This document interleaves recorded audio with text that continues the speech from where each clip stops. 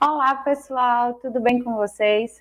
Eu sou a professora Tara Santos de Ciências. Sou uma mulher de pele clara, tenho um cabelo castanho escuro, comprido, um pouquinho abaixo do ombro.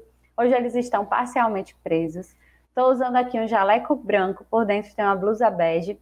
Aqui atrás de mim tem a logo da Prefeitura Municipal de Feira de Santana e da Secretaria Municipal de Educação. Vamos lá agora iniciar mais uma aula de ciências do oitavo ano. Bora lá! Antes de tudo, como vocês já sabem, sejam todos muito bem-vindos a mais uma das nossas aulas. Para a gente é um prazer enorme saber que vocês estão aí do outro lado acompanhando as aulas, aprendendo junto com a gente, fazendo as anotações, tirando as dúvidas quando chegam na escola com os professores de vocês. Então é muito bom tê-los aqui de novo e sejam muito bem-vindos. E na aula de hoje nós vamos falar sobre eu sei que muitos de vocês já devem ter visto lá no primeiro slide o que é que a gente vai fazer hoje, porque eu sempre coloco o que a gente vai fazer, o tema da nossa aula.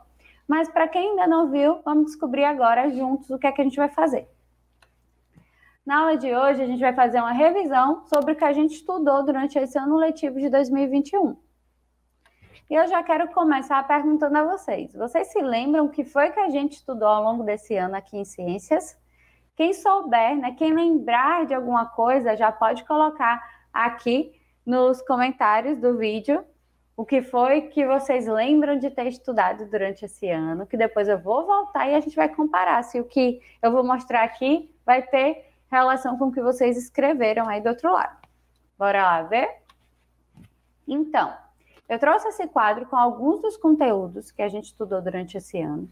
Então, a gente estudou sobre vacinas, tecidos do corpo humano, os métodos contraceptivos, sistema circulatório, puberdade, ciclo menstrual e fecundação, sistema reprodutor, sistema digestório, sistema nervoso, a célula, sistema respiratório. Então, a gente estudou sobre muita coisa. Isso aí só, é só uma amostra do que a gente viu, porque a gente estudou muito mais que isso. Se eu fosse colocar tudo, eu ia ter que botar mais uns quatro quadros desses aí para a gente dar conta de colocar todos os assuntos que a gente estudou.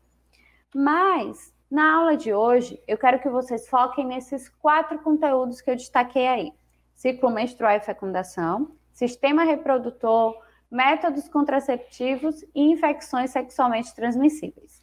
Na aula de hoje vai ser uma revisão desses quatro conteúdos que a gente já estudou aqui nas nossas aulas de ciências do oitavo ano. E para isso eu preparei uma atividade.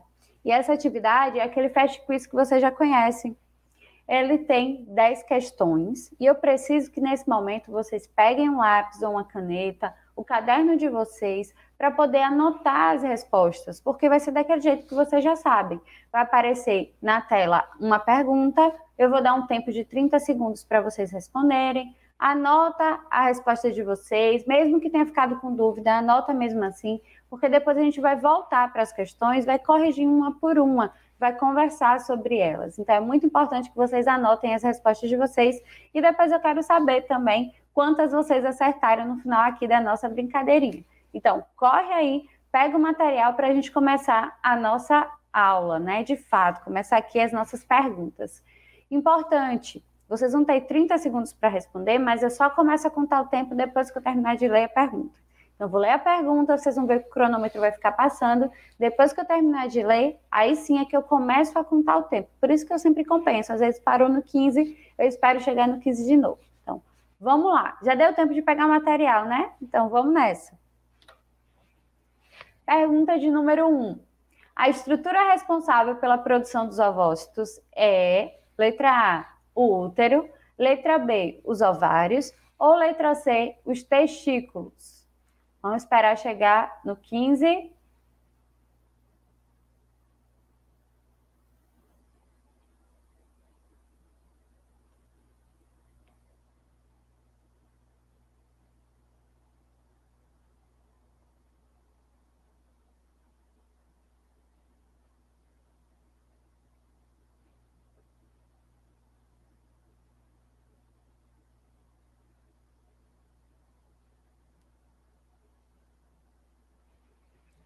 Vamos para a próxima agora. Pergunta de número 2. No corpo feminino, a, vagina apresenta a função de excreção, eliminando a urina, e a função reprodu reprodutiva. Essa afirmação é letra A, verdadeira ou letra B, falsa? Vamos esperar chegar no 20 agora.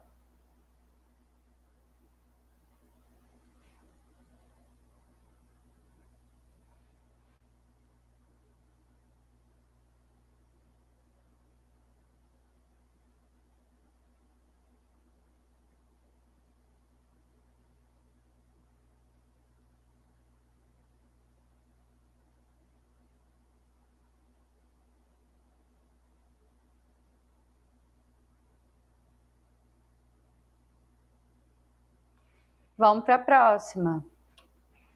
Pergunta de número 3. O hormônio responsável pela produção dos caracteres sexuais secundários masculinos é letra A, progesterona, letra B, estrogênio ou letra C, testosterona? Vamos esperar chegar no 20.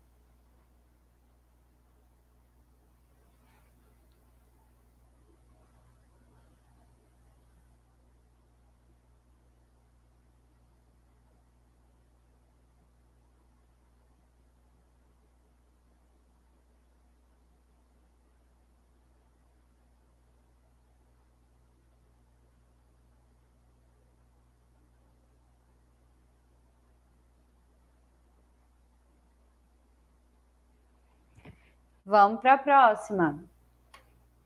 Pergunta de número 4. A tabelinha, que é um método contraceptivo comportamental, não é considerada confiável, pois se o ciclo menstrual da mulher não for regular, não é possível saber com precisão o seu período fértil. Essa afirmação é letra A, verdadeira, ou letra B, falsa? Vamos esperar chegar no 25.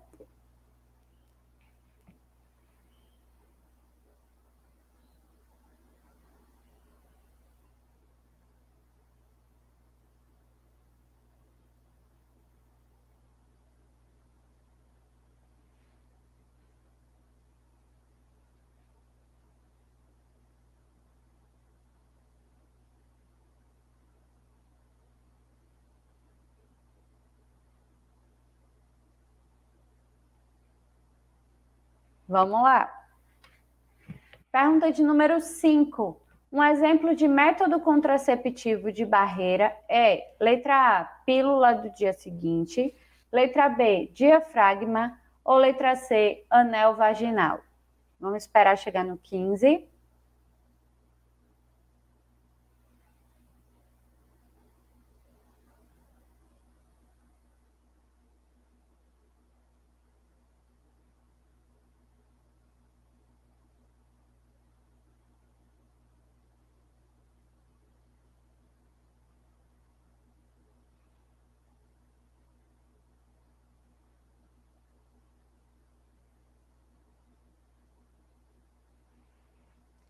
Vamos para a próxima agora.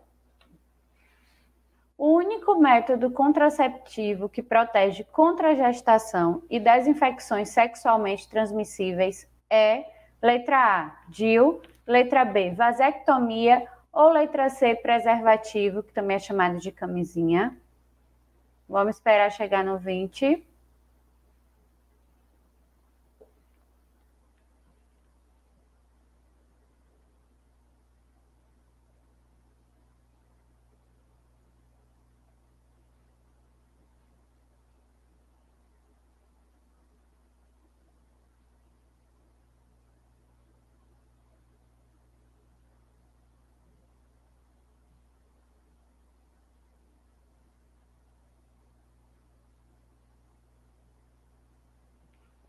Vamos para a próxima. Pergunta de número 7. Em uma mulher com ciclo menstrual regular, a sua ovulação deve ocorrer no 14º dia. Porém, há um intervalo de dois dias antes e dois dias depois, que chamamos de período fértil. Essa afirmação é letra A, verdadeira, ou letra B, falsa? Vamos esperar chegar no 20.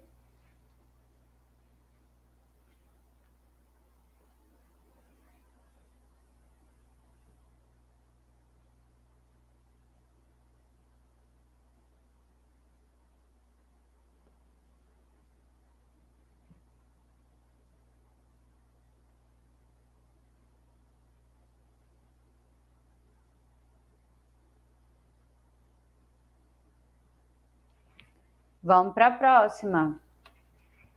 O ciclo menstrual regular dura letra A, 5 dias, letra B, 30 dias ou letra C, 28 dias? Vamos esperar chegar no 10.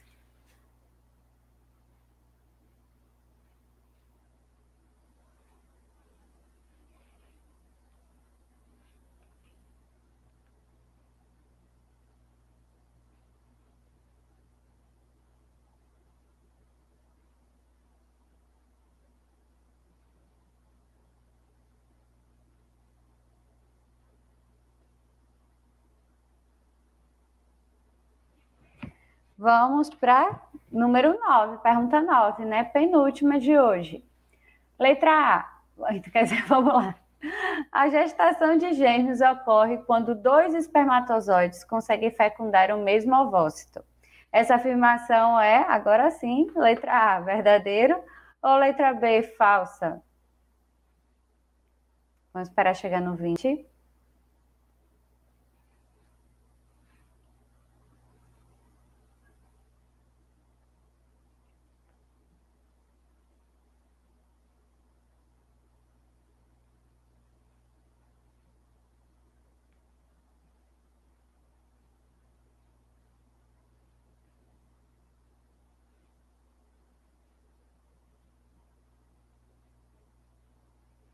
Agora sim, vamos para a última pergunta de hoje. Pergunta 10. A fecundação que, a fecundação, que consiste no encontro do espermatozoide com o ovócito, ocorre no ou na letra A, útero, letra B, tubas uterinas ou letra C, ovário. Vamos esperar chegar no 20.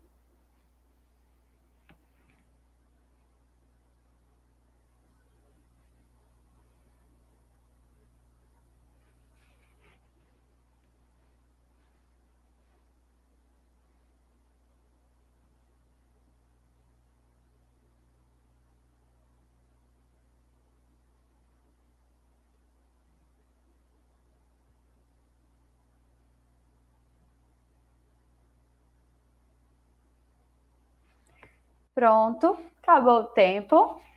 Bora para a correção? Anotaram tudo direitinho aí?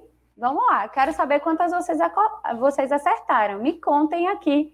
Eu quero ver no chat quantas vocês acertaram, tá? Então vamos lá. Pergunta de número 1. Um. A estrutura responsável pela produção dos ovócitos é? Resposta certa é a letra B, os ovários. Então, os ovócitos são as células reprodutivas femininas e elas são formadas, né, elas são produzidas ali dentro dos ovários. Não poderia ser no útero, né, porque é uma outra estrutura que tem outra função, e também não nos testículos. O testículo é uma glândula masculina, tem a função de produzir os espermatozoides.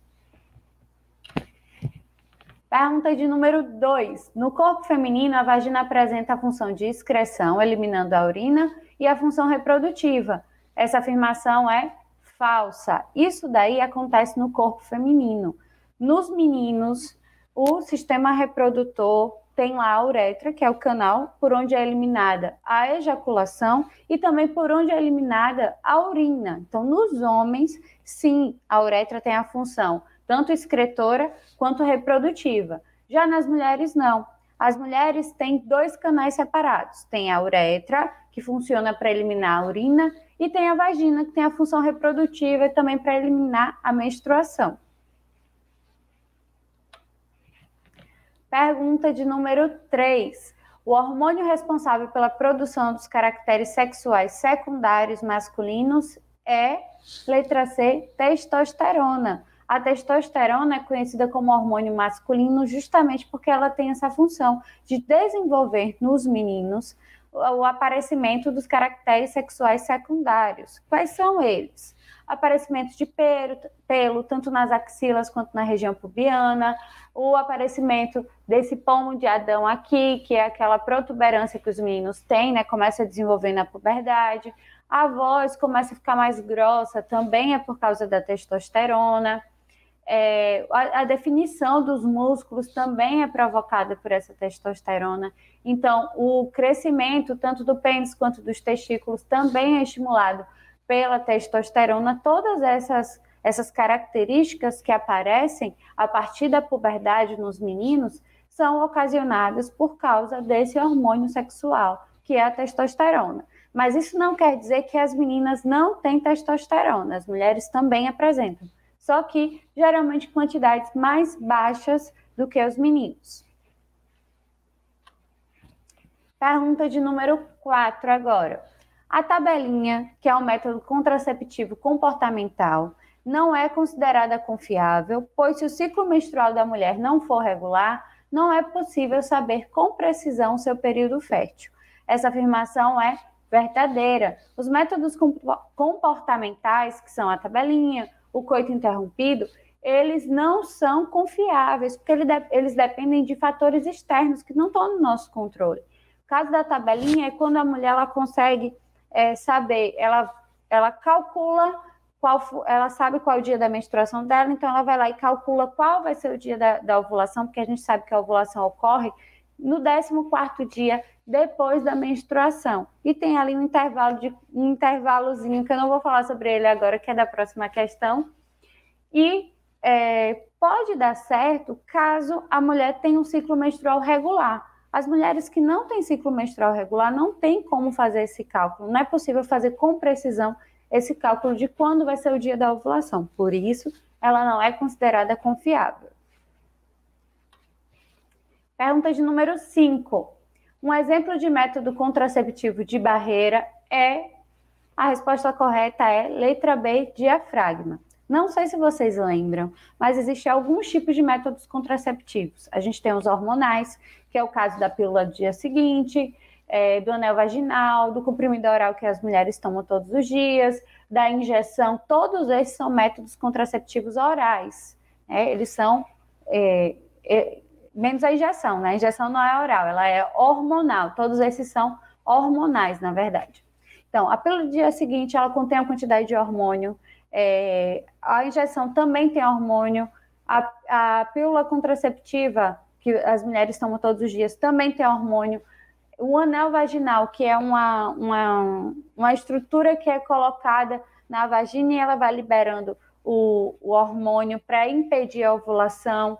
Tem o adesivo também, todos esses são hormonais. Aí a gente tem os comportamentais, que são aqueles que eu falei na questão anterior, que é o caso da tabelinha, o caso do coito interrompido, que não são coisas que a gente usa ou ingere, para poder evitar a gestação, mas tem, estão relacionados com determinados comportamentos que as pessoas têm para evitar essa gestação. A gente tem os definitivos, que hoje já não são mais tão definitivos assim, que é o caso da laqueadura e da vasectomia.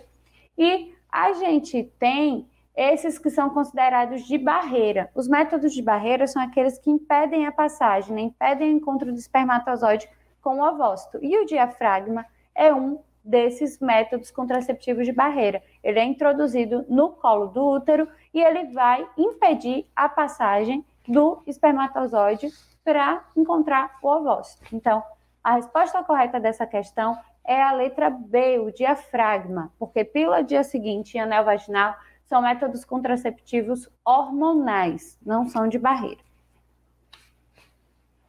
Pergunta de número 6. O único método contraceptivo que protege contra a gestação e das infecções sexualmente transmissíveis é. A resposta correta é a letra C, o preservativo, a camisinha, tanto masculina quanto feminina. Então, dentre os métodos contraceptivos que a gente já viu nas aulas, o único que vai proteger contra as infecções sexualmente transmissíveis é o preservativo. Os outros só vão impedir a gestação, mas a camisinha protege tanto da gestação quanto das infecções sexualmente transmissíveis. Por exemplo, aí tem o DIU. O DIU ele pode ser considerado um método de barreira e também um método hormonal, a depender do tipo de DIU que a pessoa utiliza, que é o dispositivo intrauterino. Ele tem que ser introduzido pelo médico, né? Esse DIU. A vasectomia é um procedimento em que é cortado os canais deferentes ali que conectam o testículo com a uretra no homem. Então, corta, faz um, ou faz um nó ali e impede a passagem do espermatozoide. Hoje em dia, em alguns casos, pode ser revertido esse processo. E outros não conseguem mais fazer a reversão. Então, Nesse caso aqui, somente o preservativo é quem vai proteger contra as infecções sexualmente transmissíveis, tá? Vamos para a próxima agora. Pergunta de número 7. Em uma mulher com ciclo menstrual regular, a sua ovulação deve ocorrer no 14º dia. Porém, há um intervalo de dois dias antes e dois dias, dias depois, que chamamos de período fértil. Essa afirmação é verdadeira. A mulher que tem um ciclo menstrual regular, no 14º dia depois que ela menstruou, ela vai ovular. E tem esse período aí que vai do 12º dia até o 16º dia, que a gente considera período fértil, porque ela pode ovular dois dias antes ou dois dias depois daquele que estava previsto.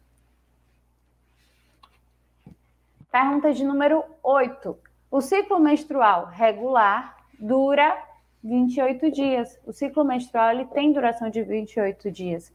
Então, o primeiro dia do ciclo menstrual é o dia que a mulher menstruou. E essa menstruação pode durar entre 5 e 7 dias, depende de cada uma. No 14 dia desse ciclo, ela vai ovular. E depois, né, mais, mais 14 dias depois dessa ovulação, vai vir o próximo ciclo menstrual. Então, esse ciclo menstrual dura 28 dias e ele é regulado pelos hormônios que estão ali atuando no corpo feminino. Pergunta de número 9. A gestação de gêmeos ocorre quando dois espermatozoides conseguem fecundar o mesmo ovócito. Essa afirmação é falsa, gente, muito falsa. Primeiro que os espermatozoides não conseguem dois ao mesmo tempo fecundar o mesmo ovócito. Por quê? O ovócito ele tem uma camada do lado de fora que é chamada de zona pelúcida. Essa zona pelúcida ela faz a proteção desse ovócito. Ela só deixa passar um espermatozoide. Depois que aquele espermatozoide conseguiu fecundar o ovócito, ela fecha o ovócito e mais nenhum espermatozoide entra. Todos os outros que estiverem ali tentando, eles vão morrer pelo caminho. Porque só pode entrar um espermatozoide em cada ovócito. Tem a ver com o número de cromossomos ali da nossa espécie, né? Porque nossa espécie tem 46 cromossomos, cada célula reprodutiva vai carregar 23, então o espermatozoide tem 23, o ovócito também tem 23, então, juntando os dois, dá os 46 cromossomos da nossa espécie. Se por acaso entrassem dois, seria 23 vezes 3, né? Então, seriam 69 cromossomos. Nem consigo imaginar um ser humano com 69 cromossomos. Só para vocês terem uma ideia, algumas das doenças genéticas são ocasionadas justamente quando vem um cromossomo a mais no caso, um espermatozoide que vem com 24 cromossomos ao invés de 3, ou um ovócito que vem com 24 cromossomos ao invés de 3, e causa algumas uh, anomalias genéticas, né, que é o caso da, do, da síndrome de Down, por exemplo, né, que ao invés de ter 46 cromossomos, quem tem síndrome de Down tem 47. Agora, imagina um indivíduo com 69 cromossomos. Quais alterações a gente teria aí nesse, nesse processo? Então, os gêmeos não nascem desse jeito. Os gêmeos podem nascer de duas formas. Os univitelinos são aqueles casos que são gêmeos idênticos, são aqueles casos em que o ovócito fecunda, é fecundado pelo espermatozoide e no momento de divisão das células, porque as células começam a se dividir logo após a fecundação, essas duas primeiras células aqui, as duas iniciais, elas se separam ao invés de permanecer unidas. E quando elas se separam, cada uma delas começa a ter o seu próprio desenvolvimento. Então, nascem dois bebês iguais, idênticos, ali dentro da mesma placenta. Esse é o caso dos gêmeos univitelinos. Gêmeos, os gêmeos bivitelinos é diferente. O que é que vai acontecer? Naquele ciclo, a mulher, ao invés de, de liberar um ovócito, que é o comum, ela libera dois. E esses dois ovócitos vão ser fecundados, fecundados por dois espermatozoides diferentes. Então, esses dois espermatozoides vão lá e fecundam dois ovócitos diferentes. Aí vão nascer os gêmeos bivitelinos, que não são idênticos, cada um tem sua própria placenta. Então, é assim que nascem os gêmeos, e não nesse, desse jeito que está escrito aí na tela. E a última pergunta: a fecundação, que consiste no encontro do espermatozoide com o ovócito, ocorre no ou na? Resposta correta é letra B, tubas uterinas. As tubas uterinas, ó, aqui está o, o óvulo, desculpa, o o ovário. Aqui vai estar o ovário e aqui vai estar as tubas uterinas, que é como se fosse um prolongamento do útero. Quando a mulher ovula, essas tubas elas ficam aqui batendo para criar uma corrente para puxar esse ovócito. E esse ovócito fica aqui na tuba, não vai para o útero. Esse ovócito fica aqui esperando o espermatozoide vir fecundar. Quando o espermatozoide fecunda, aí sim começa as divisões celulares, começa a se formar aquele embriãozinho e ele vai ser implantado no útero. Mas a fecundação ocorre nas tubas uterinas, que antes também eram chamadas de trompas de falópio. Agora que a gente terminou a correção do nosso exercício de hoje, vocês vão ter um minuto para responder essas duas perguntinhas que eu botei aí. Primeiro, eu quero saber desses assuntos que a gente conversou hoje, qual foi o que vocês mais gostaram de ter estudado e por que vocês mais gostaram de ter estudado ele.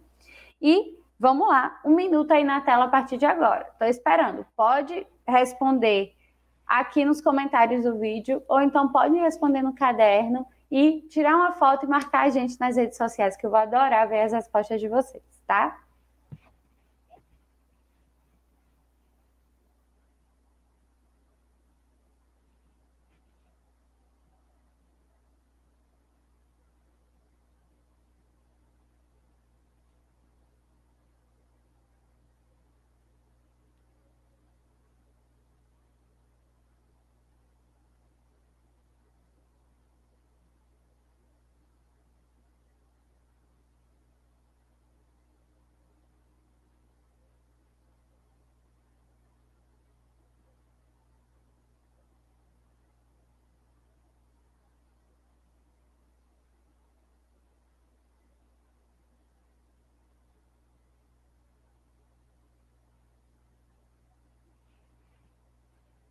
Acabou o tempo. Espero que vocês tenham gostado da nossa aula de hoje. Por hoje a gente fica por aqui. Eu vou morrer de saudade de vocês, mas eu sei que a gente tem encontro marcado na nossa próxima aula. Então se cuidem, gente. A pandemia ainda não acabou. Tem esse H3N2 aí causando essa gripe. Se cuidem mesmo. Na próxima aula a gente se vê de novo por aqui. Tchau, tchau, gente. Até a próxima aula.